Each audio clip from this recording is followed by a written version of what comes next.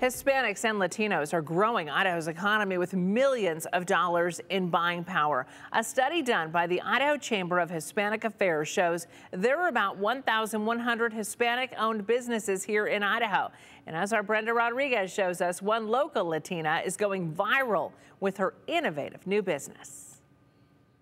When you go to a laundromat, you expect to see the basics the washing machines, the dryers, the wonderful aroma of detergent. But what about a vending machine that sells beauty products? Well, this is what you'll get at a laundromat in Kuna. I went ahead and designed the features that you see on here.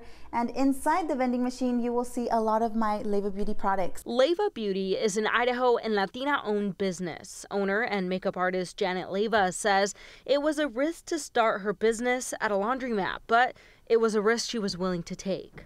At first, I'm not gonna lie, it was a little difficult to get people to walk into the laundromat because come on, who's gonna come in randomly to the laundromat? But it didn't take long for it to become a sensation. So there is a lot of walk-in people that will just come in and be like, "Oh, let's let's go ahead and get some shopping while we're doing laundry." So I've gotten a lot of good feedback from being in here. The fluorescent pink vending machine isn't the only thing standing out. So is the first generation Latina business owner Janet Leyva.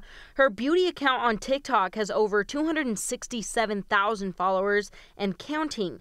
And she says it's also a good thing for the state of Idaho. I just feel like um, Idaho is getting actually really known because of my TikToks and um, you know, Instagrams, they always like to mention, wow, you have a vending machine in Idaho. Janet says that she hopes Leyva Beauty and the local vending machines will inspire the next generation of Hispanic and Latinx business owners. Once you see one um, owner that is Latina and you're like, wow, they did it, I feel like it starts kind of sprouting, um, you know, the roots for all of us to kind of start our own businesses. So the next time you visit the laundromat in Kuna, keep an eye out for that big pink box. Janet says it's a great opportunity to shop local and support Idaho's small businesses. You guys are supporting, you know, families here in Idaho. You're supporting our dreams.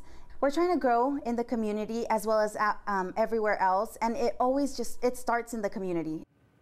And I spoke to the owner of the laundromat, and they say that their uh, business has actually increased in the in the last month. So that's really neat to see. Um, it is. She also has uh, two other or another location in Caldwell. It's at Indian Creek Plaza for okay. those who are in that area and want to visit. So wow, is there a laundromat great. there or just in the plaza? It's at the plaza. Yeah. That is so smart. Yeah. Good for really, her. Yeah. Wow. so cool.